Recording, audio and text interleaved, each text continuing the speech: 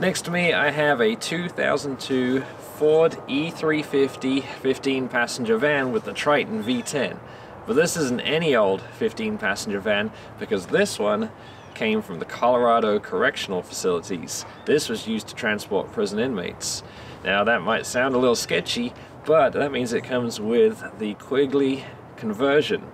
That adds drive to the front axles, meaning this is a four-wheel drive van suitable for off-road use.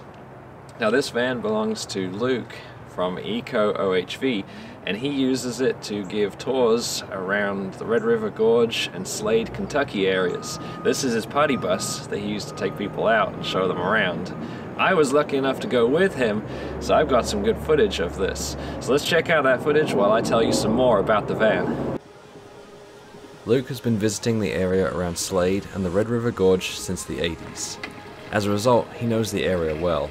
Several times a year, he organizes group rides which cater to everyone, from beginners with stock vehicles to experts with their heavy modifications. He has used the 15 passenger capacity of the van to take out groups of tourists to see the beautiful parts of Kentucky that you can't get to in your average car. On the day I rode along, we were leading a group that included a brand new JL Wrangler Rubicon and a 200 series Land Cruiser.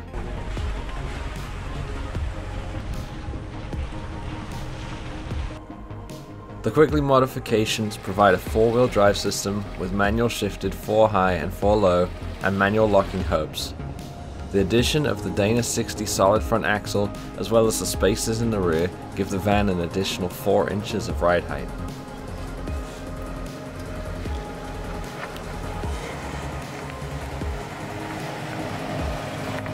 Quigley's relationship with Ford allows the vehicles to keep their factory warranty on all Ford parts despite the heavy modifications.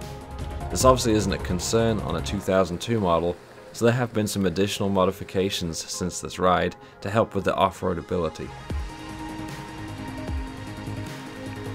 In the back, there is now a lock right locker, which allows torque to go to the wheel with the most traction. This helps if a wheel is lifted or loses grip in the mud since it stops the wheel from spinning freely.